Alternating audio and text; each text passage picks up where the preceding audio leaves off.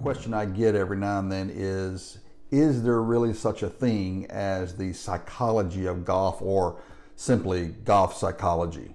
And if there is such a thing called golf psychology, is it really any different than the basic tenets in mental skills training or regular sport psychology? So, in this little mini session, I'm going to try to give you the differences, the compare and contrast, if you would, into specific golf psychology as opposed to regular sport psychology. Now, many of the things that I use with clients in other sports are very similar. In fact, some of them are exactly the same as used in golf, but the sport of golf is so cognitive. You have to, there's so much goes on in the mind from when you arrive to the golf course until you leave. In fact, it keeps, for a lot of my clients, it keeps grinding on them. Even, you know, a lot, any hours, days, months, and even years after they leave the golf course. And that's part of the problem uh, of golf, of golf psychology. And that's why uh, a lot of my clients are, are uh, golf centered. And that's just the nature of the game. I mean, I, I've played golf for so many years. I know how once you get hooked into the game, that's one of the old adages of golf is that once you're hooked, you're hooked. And part of the reason is is because of the challenge of the game is such that it really takes a toll on you if you're competitive that is it really it can take a toll on you psychologically and i think part of the reason why golf has hooked so many players is that you get a, a, great sense of satisfaction that once you've worked on something for a period of time and then all of a sudden it pays off for you on the golf course, you get a great sense of self satisfaction in that.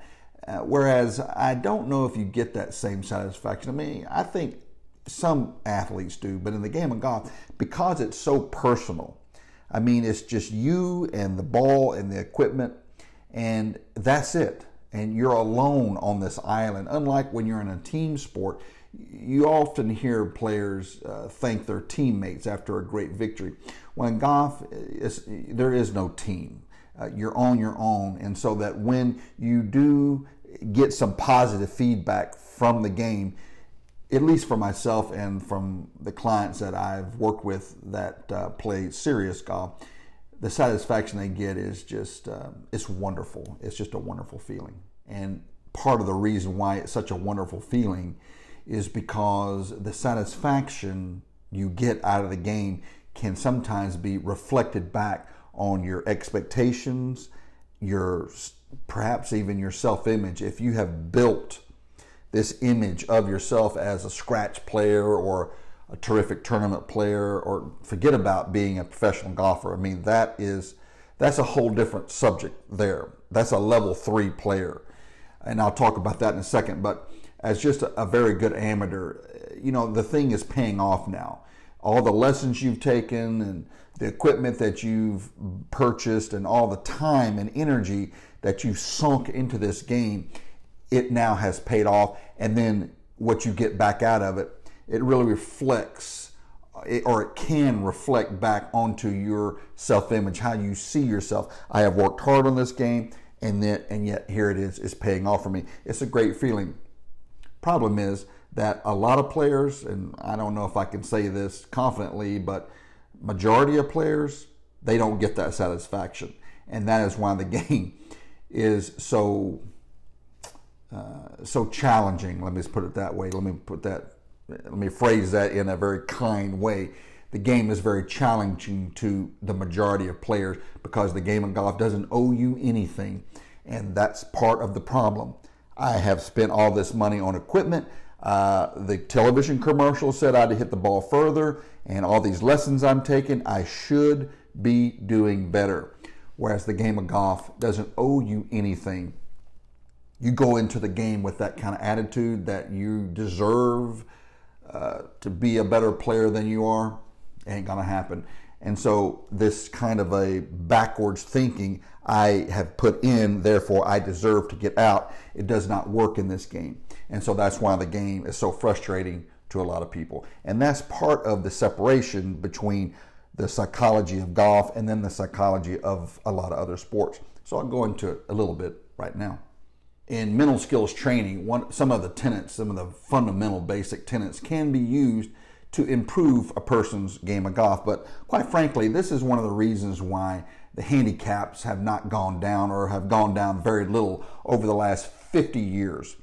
Uh, if you go back and look at the data, the handicaps back in the 50s and the 60s and the 70s, they're about the same as they are right now. And I've, done, I've read a couple of studies online that state that over the last 15 or 20 years, handicaps may have dropped by two strokes, on average per round.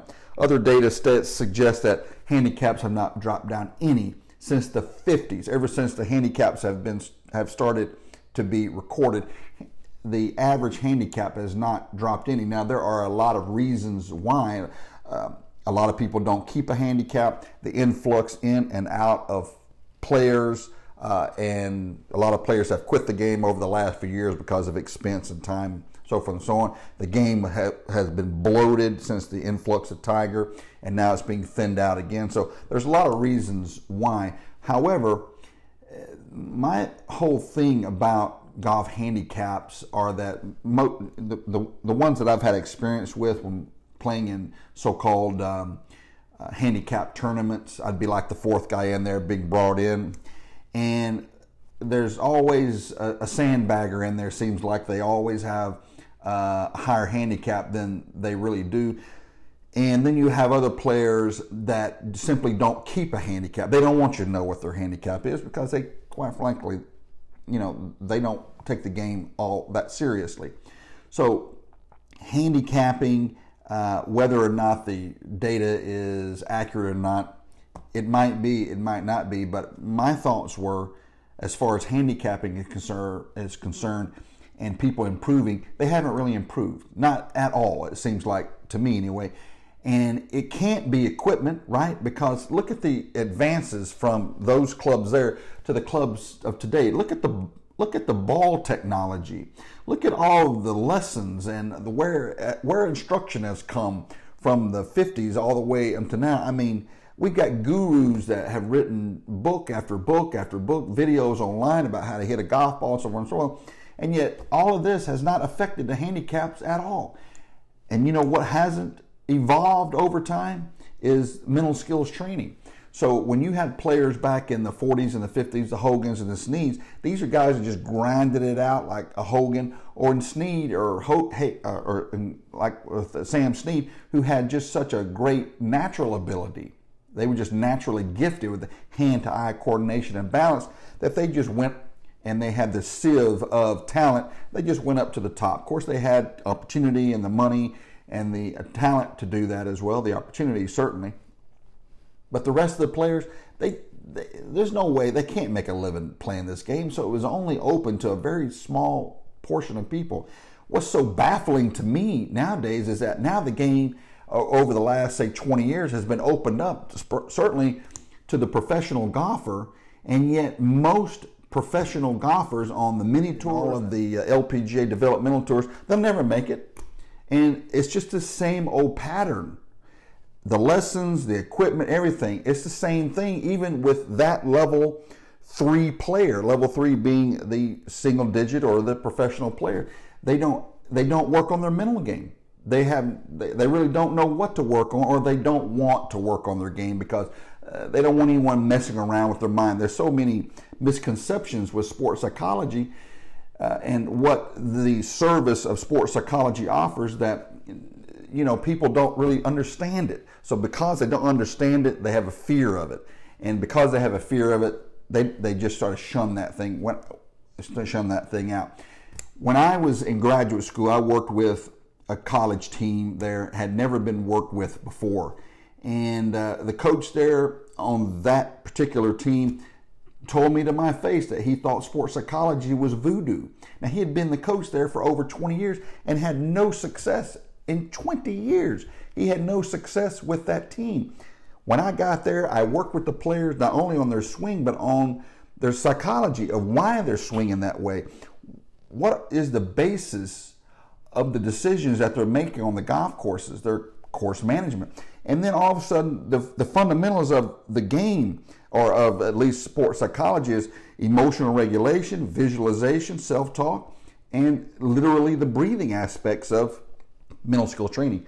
All of a sudden, we've got two or three players that now have have taken this team to the bottom of their division. All of a sudden, they're going to the NCAA championships. Now, I can't take credit for that, but my th- my thoughts were these players had never been exposed to mental skills training in their entire life. All they needed was to have somebody care about the way they were thinking around the golf course, not just the swing, but it was why they were swinging this way. Why were they making these particular decisions on these particular days?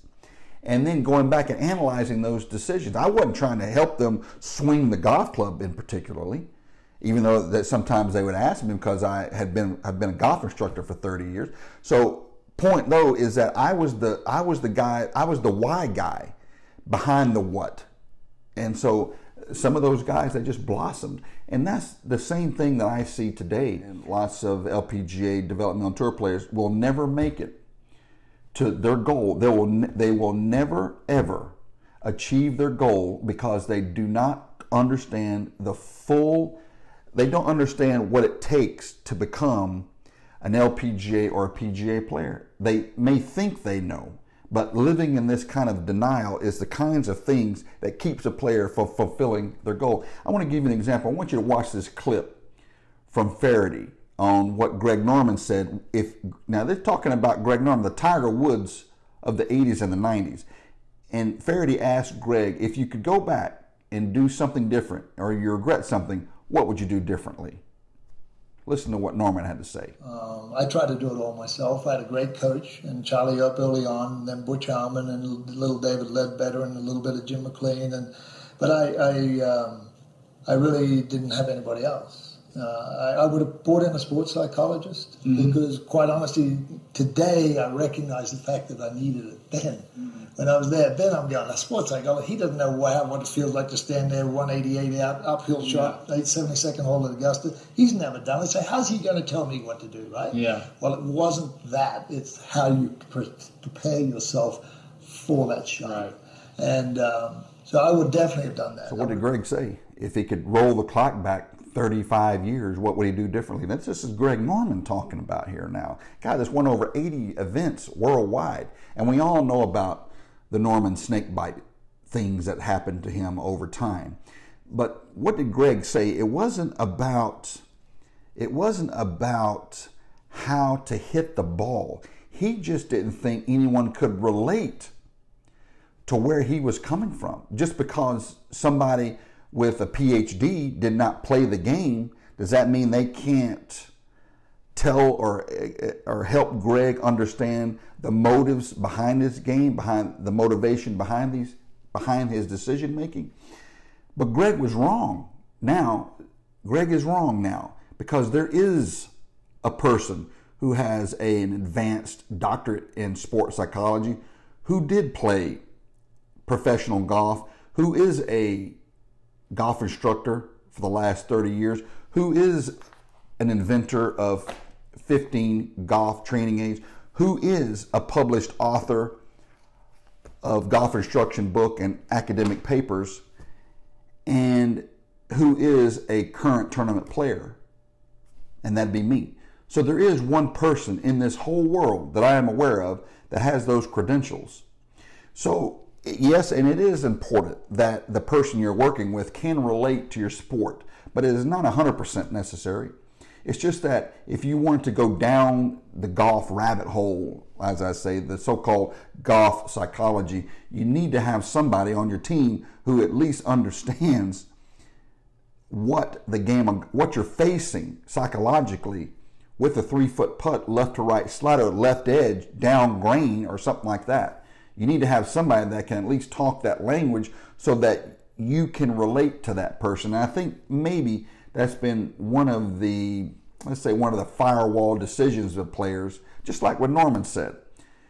You can't understand where I'm coming from because you've never been where I am. Well, that's not true. Now, granted, most people, not if, if perhaps all sports psychology consultants or sports psychologists, they may fit into that category. But that excuse now is over. You got your instructor, that's fine. Just like Norman said, you need to have somebody to help you with with your golf swing. There's plenty of golf instructors out there, all kinds of golf instructors out there. But those people are just the A, B, and C guys, right? They're just the, you know, the, the takeaway, the backswing, and so forth and so on, the transition. What about the guy that's the why guy? Why am I hitting this shot? What's the decision making behind this shot? What is my motivation about this particular golf club? The decision making. Why am I hitting this shot right now? And is there a better way to hit this shot? That's where a guy like me comes in. So with that, they what I have identified, there are three golf minds, three levels, if you would, of the golf mind. And the first level is the range mind. So the range mind is where you work with your golf instructor. Have you ever noticed that you a player will be on a lesson and they're doing great in, with their instructor standing right there. As soon as that person leaves, they you know they return back to where they were. And the reason is is because that person, that instructor is acting as your sports psychology consultant right there, even though this is not about sports psychology. That person is telling you what to do, how to hit a golf shot. When you leave, when that instructor leaves and that person now they're on their own, well, the safety net now is gone. And many times, if not most of the time, they'll revert, revert back to where they were. The game of golf requires a lot of rote memory over and over and over again in order in order in order to cement or embed into the long-term procedural memory cells in your mind. There is no such thing as muscle memory. Muscle has no memory cells. It is through repetition. Some say even there's a study out that says it's 10,000 hours to make a change and then inform it into a habit. I'm not sure if that's 100% correct because if a person uses mental skills training like visualization or feedback from even a camera, even a visual feedback from a camera, or you add the third element in there. You got the feedback from the camera, visual feedback from the camera. You have an auditory feedback from your golf instructor, and then you're also seeing it in your mind. You're visualizing it in your mind. I don't know if it would take 10,000 hours to create a new habit, but let's just say if it did. How many balls? How, how long does it take to hit a bucket of balls out there? 30 minutes. So then you add in how many hours, how many buckets of balls is it going to take me to get to 10,000 hours? You know, I, I'm not 100% sure that I can fully get on board with the 10,000 hour sort of hypothesis, but let's just say if it, it was half of that, say 5,000 hours, how much time is that student going to be able to commit to those particular changes, you see? And so you, as a golf instructor, you have to get that player on that level one player, get him going on the right track right away. However, from the swings that I have seen on the driving range, the level one player has not taken any lessons because if they have taken lessons, they certainly wouldn't be holding the club or swinging the club like they are. Where are they getting this idea about swinging the club like they are? Where, where are they getting their information from? You see. And so this is where somebody like me could come into play for them. But I would I would think that the first step would be to go and see a qualified instructor to get them to understand this is how you hold a golf club. This is literally what the grip feels like or looks like. This is the takeaway. This is the backswing. And this is the down, this is the initiation of the downswing and so forth and so on. So, but many of the players I see, they're just they're whacking balls. So, and they're looking for an immediate feedback and they're getting an immediate feed, uh, getting a negative immediate feedback. So they're being negatively reinforced. So the game is negative to them right from the get-go. Right from the get go, it's becoming negative. Why don't they take a lesson then? I don't know. That I really don't know. Why a beginner does not take a lesson. Maybe they feel like it's too expensive. Maybe they don't want to invest that kind of money into their game. They're not, you know, they're not there yet. So that's why I call that a player as just a level one player. because they're at the very beginning of it. Now they go out and whack a few balls. Maybe they go and drink some beer on a course and have fun with their buddies. And that's just a recreational player, and that's fine. I guess that's what we need. So what what can we say? It's got nothing to do with my crowd because my crowd are the level three player. But for the level one player, the player just beginning, they're out there at the Topgolf and they're having a blast doing it. And thank goodness for the Topgolf. I guess that you know they are growing the game of golf. But they, you know, that is uh, that is for a recreational player. Seemingly, seems like it's for a recreational player. It looks like it's, it's just a giant video game. But my point, my point is, is that where are they getting their information from? This is where this is the thing that I've always thought. Is it coming from you know golf instruction books of you know how how are they learning how to hang on to the club? Where is this information uh, impacting them? And and and then they go out on the course for a few weeks or a few months, and then by that time they may have already passed the 10,000 hour rule, and they've, they've been holding the grip wrong since day one. So then we go to, like I said, to a level two player. Now they've come from the range, and now they're interested in a practice round because we're assuming now this player now is a tournament player. So they go from the range that wrote wrote that rote kind of memory onto you know a, a practice round the, the, the cognition between the two are so different. And you ever wondered why players complain that I can do well on the range, but I can't take it on the golf course? It's because they don't have this, the, the decision making is totally different. The decisions and the things that go on on the driving range are very different than the thought processes that happen in a round of golf, even in a practice round of golf. But they don't switch the brain doesn't switch. It stays in practice mode, in rotation uh, or rote, uh, in the rote mode, R O T E, rote, just over and over again. And there's absolutely no consequences. So they hit a bad shot, just put another ball down there. Problem is, is that when you get on the golf course, uh, unless you're out there by yourself just whacking away mulligans, if you are in a foursome, certainly with people that you don't know, you can't just keep dropping balls down there until you get it right. So then now there's become this little thing called pressure, I guess if that's what you want to call it. What it really is, is situational anxiety. That's what it is. Because now there are circumstances. And if you hit a, a bad shot here, you have to pay the price. There's a circumstance here. And so that causes anxiety.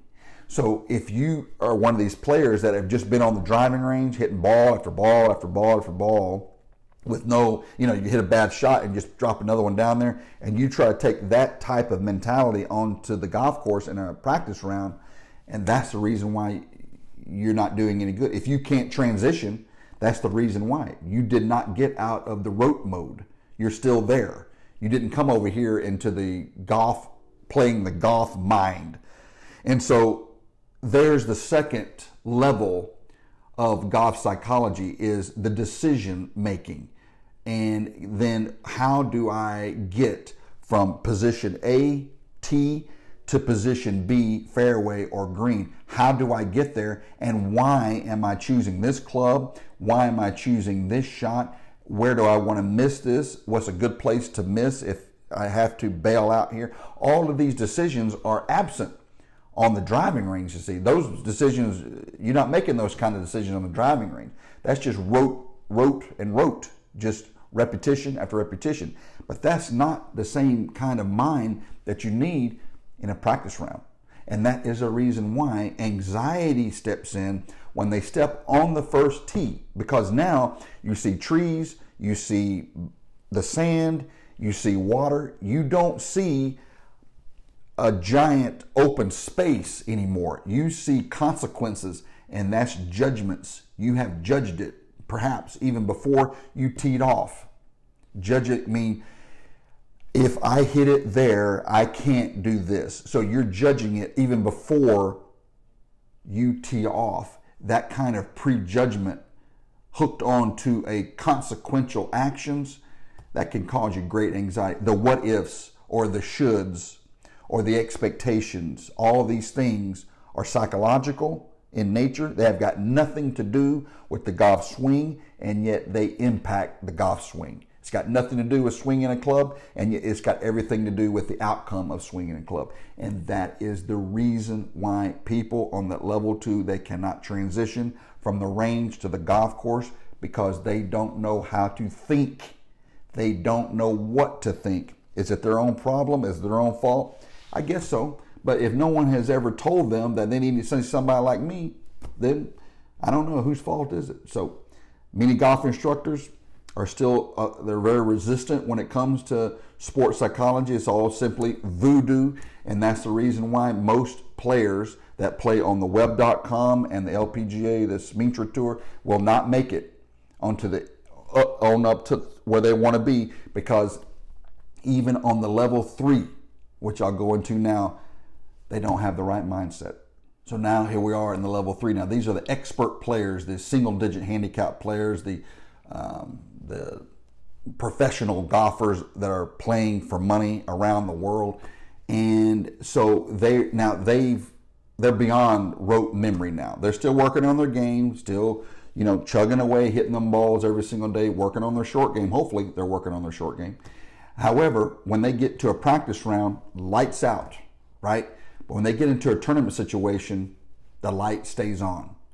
And so you say, well, I, how is that possible that I can shoot 66 in a tournament round and shoot 72 or 75? If you 75, it might as well be 95. It's the same score on a PGA, on a regular PGA Tour event. Why can't they make that transition over a four-day period or a three-day period or whatever the or the round is? Why? And the reason, there's a lot of reasons why, but most of the reason it's all in their mind. Because once you get to a level three player, the swing now is in procedural. The swing is procedural now. In other words, it's like riding a bicycle. You, you, you learn how to ride a bike as a kid. If you don't ride a bike again for 25 years, you can get on a bike and start riding it again. Why? It's because it's in procedural memory. Now, it's in long term memory. It's been encoded onto them brain cells. And you can pick up a bike and start riding it again can you ride it like when you were a 10 year old kid? No, but it won't take you long to make those adjustments, and very soon you'll be riding it. Same thing with with a professional golfer's swing. They have hit so many balls that it's not about hitting the ball anymore. It's about why am I hitting the ball?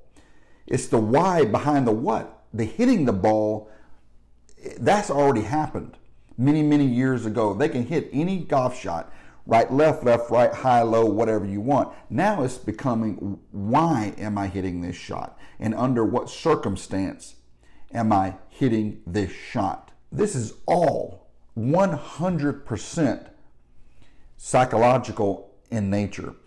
And because most professional golfers do not use a sports psychology consultant, just like Phil Mickelson said, you either got to be really smart or really dumb to be a great player.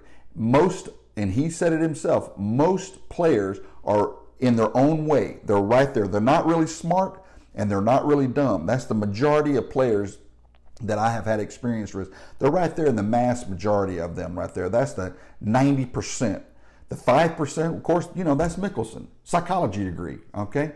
and then you Tom Watson, psychology degree, and then you got the real dumb, the real dumb players that you know I, I don't know. I mean, that's a seemed like a very cruel thing to say, but those are the players that have a real short memory.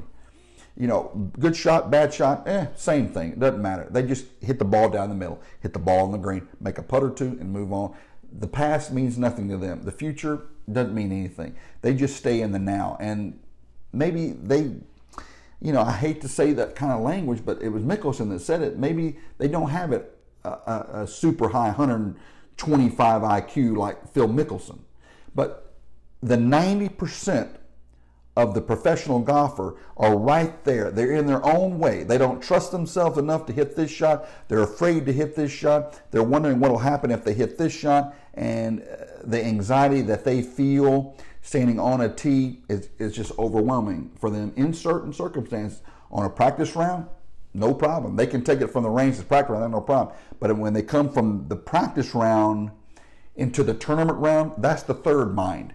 And that's where That's where most of them fall short. So, in closing on this series, uh, I hope to be able to do some more in depth and specific things and thoughts about golf psychology. In other words, like for example, the psychology of the golf grip or the psychology of the takeaway. I mean, there's a lot that goes on in the mind, even when you're gripping the club. There are, you know, how many grips there are in this game. If you add in pressure points in the grip, I mean, yeah, you've got the old Vardon grip there, sure, but there are players that will use uh, more grip in these three fingers to hit a certain shot or they'll simply rotate both hands. You know, if they have a semi-strong grip, they'll rotate both hands back to the left to weaken the grip to hit a particular shot. This is the psychology of the golf grip, and there are so many grips out there three, four, five grips, I guess. You know. Uh, and there's the psychology behind every single there's a decision that is made behind the grips i know that we don't think about it very often but if you want to be a great player you got to get real real smart and to get real, real smart, you got to look at everything, every little detail in your game. Just like what, Mick, what Mickelson told Feherty, he knows everything about his game. He knows everything about his equipment. He knows everything about his club selection, and he knows everything about how far he's going to hit a ball, and he knows the probabilities as well. The probabilities that if he takes this swing on this particular shot with this particular club, how far is the ball going to go, how far is it going to roll, how far is the ball going to travel when it hits onto the green based on the lie and everything. All of these things come in to make a decision, make an intelligent decision, and then he's able to execute that. So he knows, you know, this guy knows, and that is why he is Phil Mickelson. Why aren't you Phil Mickelson? We'll say, well, Dr. Trammell, you know, I, I just don't, you know, I just don't have the talent Phil Mickelson is just a phenom golfer. Maybe, eh, and that's possibly true. But my thinking is this if you are a professional golfer and you're playing on, let's say, the web.com, look at the look at the stats of what Phil Mickelson, a player like Mickelson does. Just look at his stats. Are you hitting as many fairways as Phil? You probably are. This guy's not the most accurate guy in the world. So it's not about fairways hit. You could be a better fairway player than Phil Mickelson. In other words, you could be hitting more fairways than him. Is he maybe he's longer off the tee? Maybe, that's what it is. He's just a long driver. No, I don't think so. I don't think so. If you're a professional player, if you're a professional golfer on tour, and let's say you're a male now, I'm just saying that, you know, to give you a reference, you're probably hitting it just as far as he is, maybe even further. So it's not the distance, see and you have access to the same equipment that he does. So it's not the equipment. So we've ruled out those things. It's not the fairway. It's not the equipment. All right. So maybe he's hitting more greens than you. Maybe maybe he's a better iron player than you. No, I, I don't think so. I don't think so. unless you are below the tour average, way below the tour average, which is what about 70%, maybe 68 or 69%. What is that? 11, 12 greens per round? If you're a professional golfer and you don't have the ability to hit 10, 11, or 12 greens per round, then you're wasting your time. Then you need to go back onto the number two, number two, get back onto the range. Maybe you need to go back to the one of how to how to swing a golf club so that you can build consistency in your game. If you can't hit 11 to 12 greens per round in a tournament situation, I, I, then why are you playing professional golf? I mean, you have to at least get up to the tour average which I believe is around, isn't it about 11, 12 greens per round, something like that? That's what he's hitting. However, check out what he's doing on his wedge game inside 100 yards. Now, you have four wedges in your bag, just like Phil, maybe even more.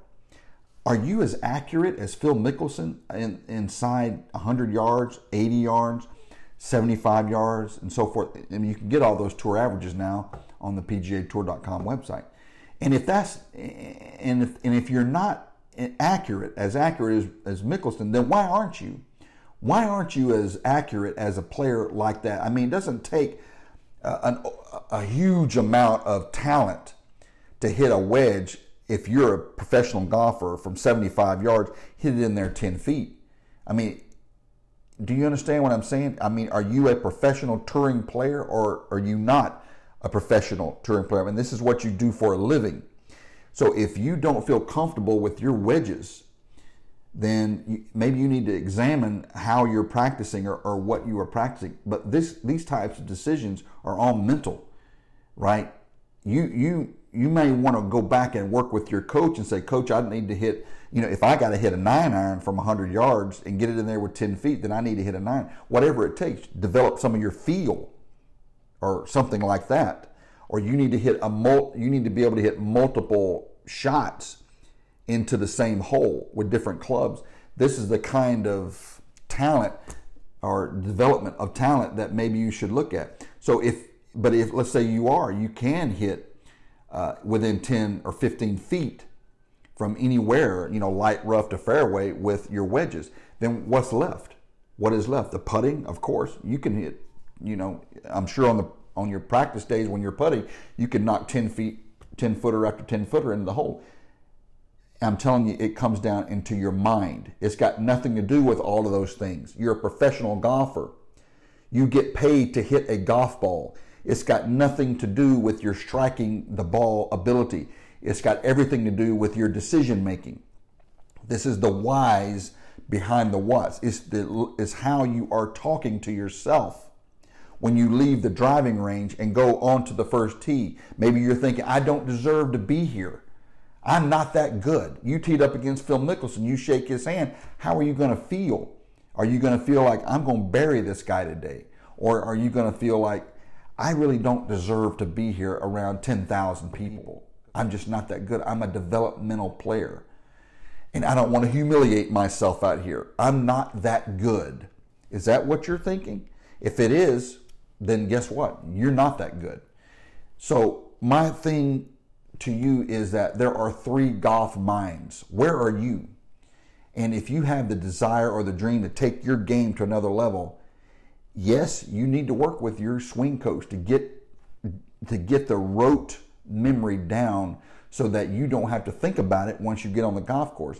And then once you transition from that, you go over to the practice round and you can lights out on the practice round. That hopefully will give you the confidence to say, look, I know this golf course, and now I can transition that into a tournament round. If you cannot transition it into a turn, if you can't go from the driving range of a tournament and and play the same that you have done in a practice round, then you've got some mental issues there. And I'm not talking mental issues in that you are mentally ill. I'm talking about the things that is that are involved in golf psychology, the decision making. Just like Norman said, it's the decisions that you're making and why are you making those decisions? If you have not explored those things in your game, I don't know how you're ever going to make it because the smart players, the Mickelsons of the world, they are using people like me. They're out there right now talking to sports psychology consultants. And quite frankly, as I've given you my credentials, uh, I don't know of anyone else in the world that has my credentials, but it's not that's not 100% necessary. It's just that I have a very unique skill set, but it's not 100% necessary to have a person working with you that has those particular skill sets. It's just a matter of having a person that can understand where you're coming from as a professional athlete, what you want, and the motivations behind your decisions. That's all it is. Bringing in a team of professionals to help you achieve your goal and understanding why you want to achieve your goal. That's all I'm saying. Most players are not utilizing all of the things that are available out there. And part of the reason is, is because they don't know what to work on or they have a misunderstanding of what sport psychology is. So there it is. There's my soapbox for the day. This is just one little thing that I may start doing uh, in the future is talking a little bit more about the psychology of golf, the deep subjects of golf psychology. I've been asked to do this by some clients and some students at the great University of Alabama and University of Alabama at Birmingham. So I may start doing that and start making a video series about the specifics of golf psychology. So I hope you enjoyed that. And uh, if I can be of any service to you, please let me know. Thank you very much.